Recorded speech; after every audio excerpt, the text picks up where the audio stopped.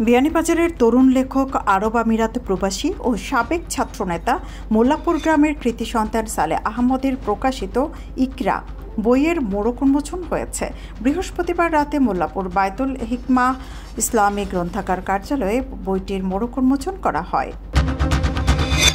Beanibazar reporters ইউনিটির তিন বছর মেয়াদী পনেরো সদস্য বিশিষ্ট পূর্ণাঙ্গ কমিটি গঠন করা হয়েছে।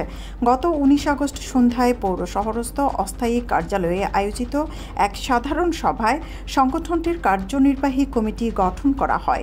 সভায় সর্বসম্মতিক্রমে বিয়ানীবাজার রিপোর্টার্স ইউনিটির কমিটি গঠন, সংগঠনটির পরবর্তী করণীয় ও কর্মসূচি ঘোষণা করা হয়। বিয়ানীবাজারের পূর্ব মুড়িয়া উচ্চ বিদ্যালয়ের প্রধান শিক্ষক খালেদ আহমদের বিরুদ্ধে অসদাচরণের অভিযোগ উঠেছে। এ নিয়ে সামাজিক যোগাযোগ মাধ্যমে তার উপর ক্ষোভ ছাড়ছেন শিক্ষার্থীরা। পরবর্তীতে এই হাই স্কুলের উদ্ভূত পরিস্থিতিতে সমাধানের লক্ষ্যে স্থানীয় গণ্যমান্য ব্যক্তিবর্গ উপস্থিতিতে কয়েক দফায় আলোচনা সভা শেষে প্রধান শিক্ষক হিসেবে শর্ত সাপেক্ষে যোগদান করবেন বলে সিদ্ধান্ত হয়।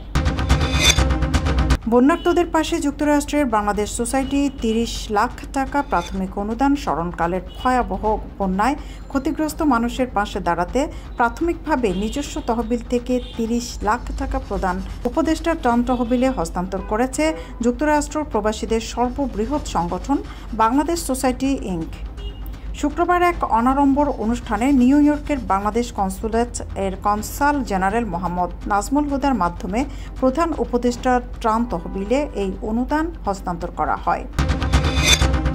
সিলেটে নবাগত পুলিশ সুপার এসপি হিসেবে যোগদান করেছেন মোহাম্মদ মাহবুবুর রহমান। শুক্রবার বিদায়ী পুলিশ সুপার আব্দুল মান্নানের নিকট থেকে দায়িত্বভার গ্রহণ করেন তিনি। এ সময় বিদায়ী আব্দুল মান্নান নবাগত পুলিশ সুপার মোহাম্মদ মাহবুবুর রহমানকে ফুল দিয়ে বরণ করে নেন।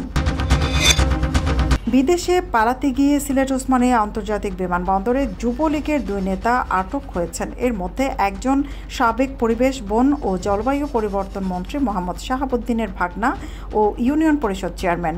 এয়ারপোর্টে কর্মরত ইমিগ্রেশন পুলিশ বৃহস্পতিবার বিকেলে তাদের আটক করে।